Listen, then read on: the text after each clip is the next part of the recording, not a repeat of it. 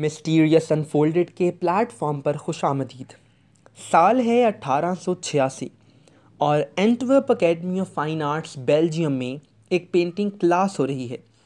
Instructor Eugene सिबरेट सब painters का काम बारी बारी चेक कर रहे हैं। यूजीन जब वैनगो की पेंटिंग देखते हैं तो शदीद गुस्से में आ जाते हैं, क्योंकि जो काम वो पिछले तीन माह से क्लास को सिखा रहे हैं वैन गो के कैनवस पर नज़र आने वाली तस्वीर इससे बहुत मुख्तलिफ़ है। उस्ताद ने पेंटिंग को देखा और इसे दुरुस्त करने के लिए ब्रश उठाया।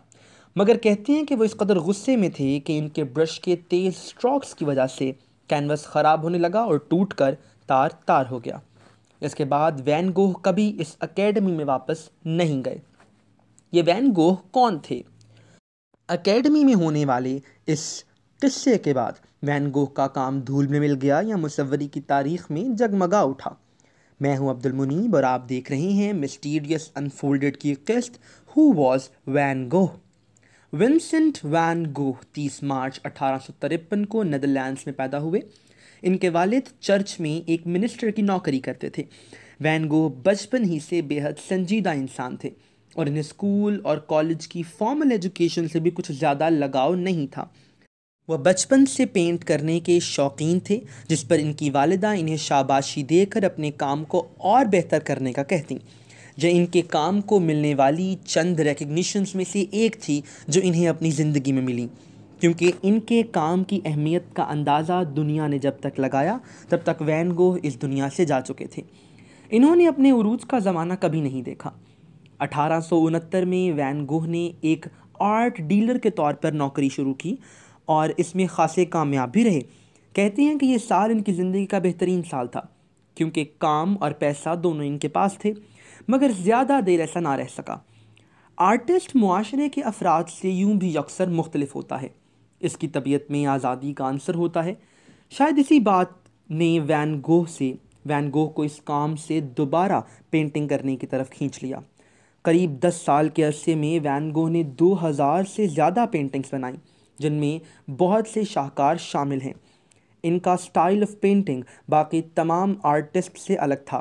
शौक़ रंगों का इस्तेमाल नई नई टेक्निक्स डेवलप करना, जो बाद में मॉडर्न आर्ट की बुनियाद बन गई, ये सब इनकी पेंटिंग की खासियत हैं। इन्हीं पेंटिंग में वैन गोह के तैंतालीस सेल्फ पोर्ट्रेट्स भी शामिल हैं। आपको जानकर हैरत होगी कि वैन गोह अपनी ज़्यादातर ज़िंदगी में डिप्रेशन जैसी कई बीमारियों का शिकार रहे। एक बार अपनी एक दोस्त से झगड़े के दौरान इन्होंने गुस्से में चाकू से अपना ही कान काट दिया था, जिसे बाद में ख़ुद ही एक तस्वीर में पेंट भी किया। वो ज़्यादातर अकेले रहते।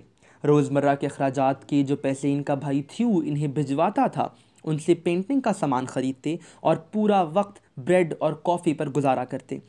यही वजह थी कि इनकी सेहत इस हद तक ख़राब हो गई कि कई कई दिन इन्हें हॉस्पिटल में रहना पड़ा। डिप्रेशन और दूसरी जहनी बीमारियों की वजह से वैन गो साइकेट्रिस्ट से भी मिलते रहते। मगर यूँ लगता है कि ज़ख़म बढ़ता गया जू जू दवा की। इसी डिप्रेशन की वजह से वैन गो ने उनतीस जुलाई 1890 में ज़िंदगी से मायूस होकर ख़ुद को सीने में गोली मारकर ख़ुदकुशी कर ली। इनकी मशहूर पेंटिंग्स में the starry night the potato eaters cafe terrace at night irises sunflowers White House at Night, At Eternity's Gate, Van Gogh's Chair, the night cafe और आमन ब्लॉसम्स शामिल हैं जबकि वीट फ़ील्ड विथ क्रोज इनकी आखिरी painting थी। इनकी ज़्यादातर पेंटिंग्स को वैन गोह म्यूज़ियम एम्स्टरडैम में रखा गया है जहाँ हर साल तकरीबन डेढ़ मिलियन लोग इन्हें देखने आते हैं। वैन गो ने अपने भाई थ्यू को अपनी ज़िंदगी में 600 खतूत लिखे जिनको वैन गोह और इनके भाई थ्यू की वफ़ात के बाद इनकी फैमिली ने पब्लिश करवाया। इन्हीं लेटर्स ने हमें वैन गोह की ज़िंदगी के इन पहलुओं का अंदाज़ा होने दिया। इन्हें दफन फ्रांस में किया गया। वैन गोह की ज़िंदगी में तो इनकी और इनके काम की कोई अहमियत ना थी। मगर सितम देखिए कि आज इनकी पेंटिंग द स्टारी नाइट की कीमत 100 मिलियन यूएस डॉलर्स के करीब है। इस तरह की मज़ीद मिस्टीरियस स्टोरीज़ को जानने के लिए इस चैनल को सब्सक्राइब करें वीडियो को लाइक शेयर और कमेंट ज़रूर करें और बेल आइकन को प्रेस करें ताकि अगली आने वाली अपडेट सबसे पहले आप तक पहुँचे। तब तक के लिए खुदा हाफिज़।